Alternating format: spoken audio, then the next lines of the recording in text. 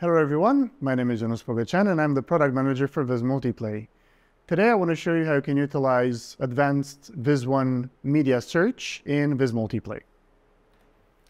So if you have a Viz One server configured, uh, you can do your regular search. However, we've implemented an advanced metadata search functionality. So once you click on this button, you get uh, the available metadata fields from Viz One. So let's say I want to use event date. And let's do a filter for this for the beginning of the week until, let's say today. Update that. And you can see that immediately the Viz One uh, or the search is updated straight away. But let's say we want to filter this even further. So let's add another uh, parameter. So let's say this time category. And I want to say documentary. And now you see I'm getting exactly the search result that I'm interested in.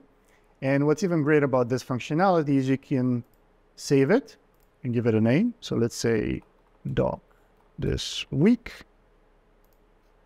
And you can obviously change it. You can improve it. You can add new uh, parameters. Let's add news. We don't have anything for news. Let's add commercial. Okay, so we get another image. And then at any point you want to go back, you can just go load, have another filter in there. So this is doc this week, load. So I'm getting the exact filters that I've created a moment ago. This is how you can use the advanced media search with Viz One in Viz Multiplay.